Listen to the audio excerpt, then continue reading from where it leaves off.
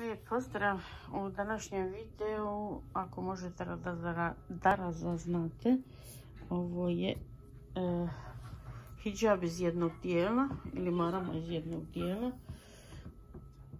I ja ću vam sad otprilike pokušati sve mjere objasniti, ali stavit ću link. Ovo je od jednog e, ruskog e, sajta, jedne ruske stranice može se snimiti e, kroj.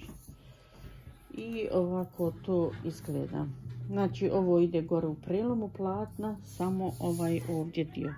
Ovo ide prelom platna, ovo je vamo za, za glavu. Ovo je ovdje naprijed i to je za lice i ono je dužine 26 cm. Ispod vrata Znači ovdje ulazite neka 3 cm i malo zaoblite i to je sve skupa 24 cm.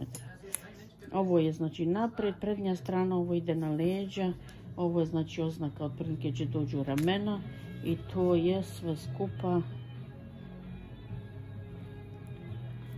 ovako nekih 50 cm i ova strana gornja, znači koliki je prelom platna, to vam je to sa dodatkom, ide do 21 cm i onda se spušta od toga,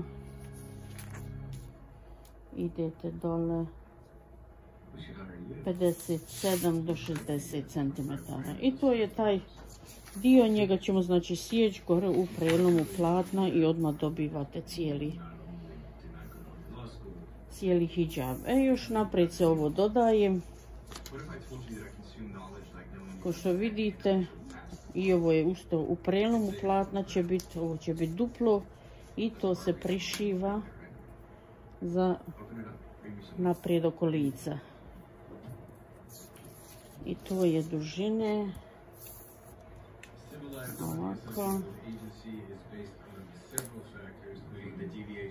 45 i onda imaju ove. Na najvećoj je 8 na ovim dijelovima je po 2,5 a na krajevima skoro 4 to jest 4 Eto, otprilike ako proba, mognete tako sebi izvaditi mjeru, a ako ne, Možda možete sami ocrtati, ja još nisam nikad ovako crtala pa ne znam, tako da mi je ovaj kroj baš dobro došao.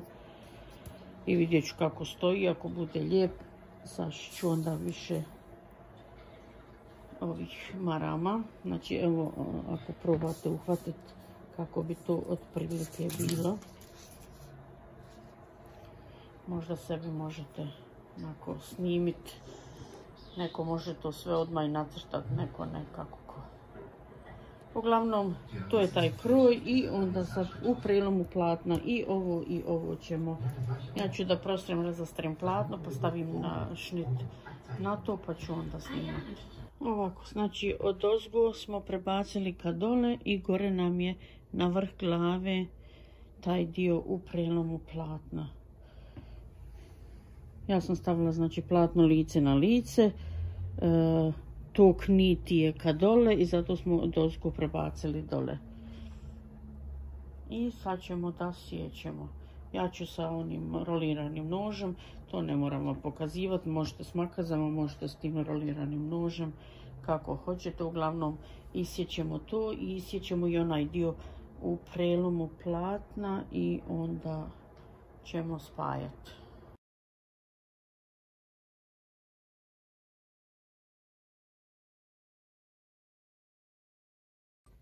Ovako izgleda iskrojeno. I ja ću sad da spajam.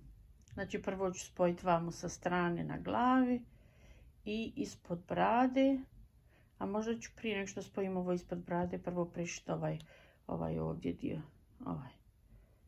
Znači prvo ću ovaj ovdje dio sve spojiti i onda ću dodavati ovaj dio pa ću onda ovo ispod brade sastaviti i obraditi na overlock, a ovaj donji dio E, ja sam vidjela na ovom videu, ostavila je žena tako otvoren, to jest neobrađen, ali ja ću probati ono sa tri igle, to je sa jednom iglom, a tri konca da obradim, da bude lijepo.